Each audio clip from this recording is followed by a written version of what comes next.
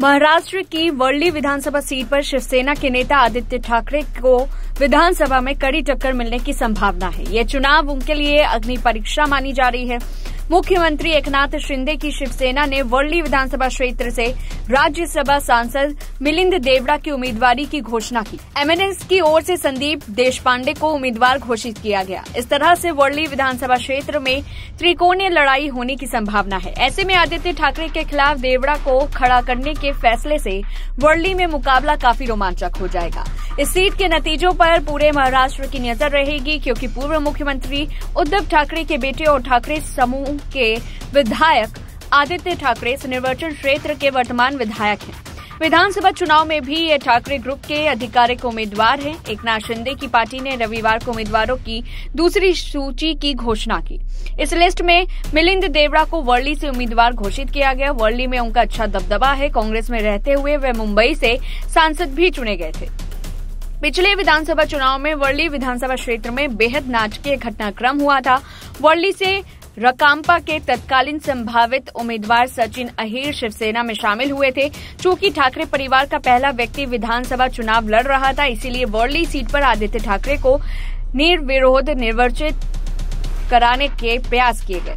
उसके लिए मनसे से भी अनुरोध किया गया था, फिर भी विपक्ष ने उम्मीदवार उतारे।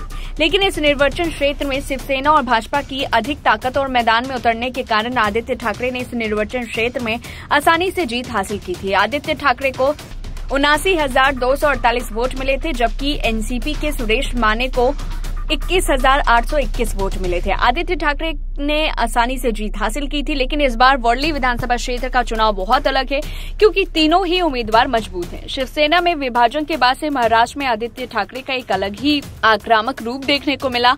आदित्य ठाकरे समय समय पर मुख्यमंत्री एकनाथ शिंदे पर हमला बोलते रहे।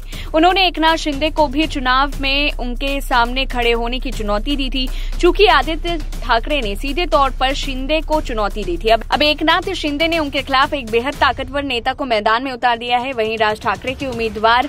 संदीप देशपांडे भी बराबर के उम्मीदवार हैं, इस सीट पर बेहद कड़ी और त्रिकोणीय लड़ाई होने के आसार हैं। शिवसेना ने रविवार को बीस सीटों के लिए अपने उम्मीदवारों की घोषणा की। इसने बीजेपी के लोकसभा सदस्य नारायण राणे के बेटे नीलेश राणे को कुडाल निर्वाचन क्षेत्र से मैदान में उतारा। उनके छोटे भाई और मौजूदा विधायक नितेश राणे को बीजेपी ने सिंधु दुर्ग ज़िले के कंकावली से फिर से उम्मीदवार बनाया। पार्टी ने वाशिम ज़िले के रिसोर्ट से विधान परिषद सदस्य और पूर्व सांसद भावना गवाली को चुना है, जबकि एक अन्य एमएलसी अमस्या पडवली धुले ज़िले के अकुल कुवा निर्वाचन क्षेत्र से शिवसेना की टिकट पर चुनाव लड़ेगी। महाराष्ट्र में दो सौ अठासी सदस्य विधानसभा के लिए 20 नवंबर को वोट डाले जाएँगे और वोटों की गिनती 23 नवंबर को होगी। यहाँ नामांकन दायर करने की आखिरी तारीख मंगलवार, उनतीस नवंबर है।